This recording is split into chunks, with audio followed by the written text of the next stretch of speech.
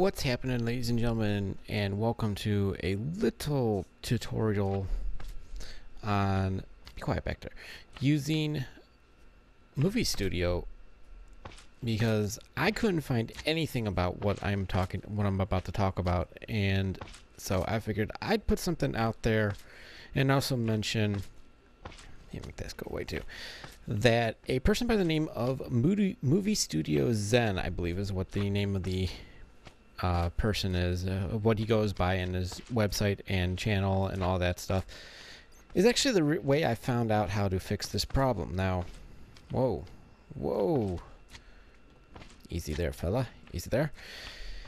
When I first started Movie Studio, I'm using Movie Studio to render out my videos. I realized right away that there was a bit of a motion blur problem. When I would move around and do things, you could see a very visible motion. Get get off the fence slime. Thank you. You don't see it right now. However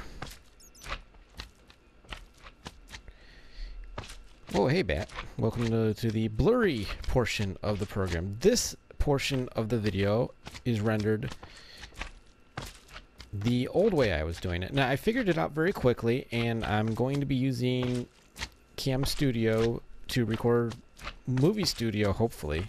We'll see. We're going to try this and see if this works.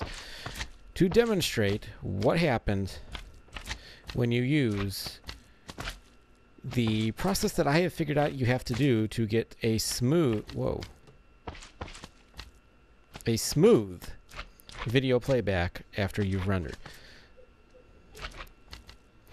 So stay tuned for that. But in any case, now that you've seen the clips and I've finally gotten the screen recording software to do what I want it to do, we are going to go ahead and show you how to make it go from the blurry clip that you saw at the end to the nice, clean, not so blurry clip that you saw at the beginning.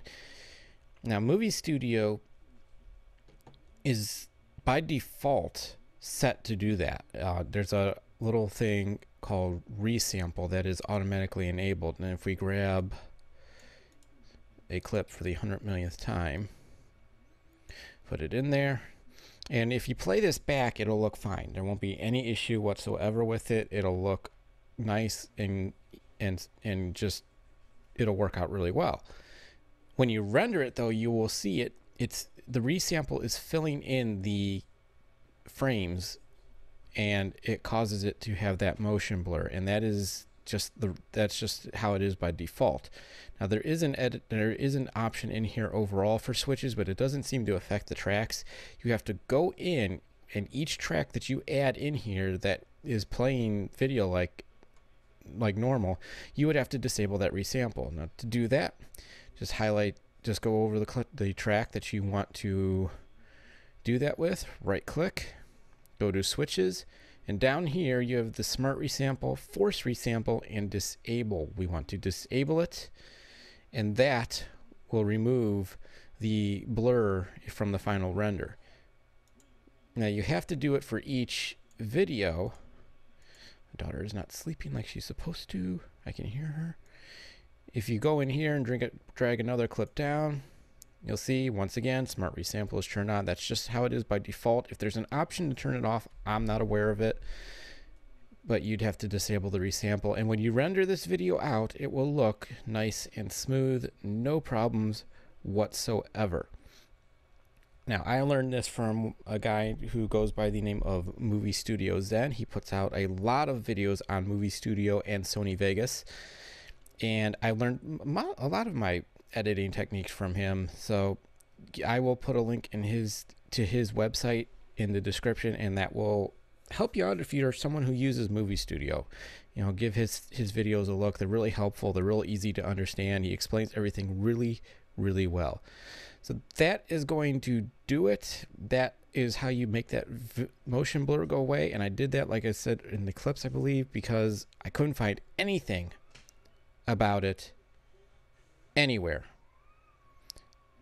She is squealing away in there.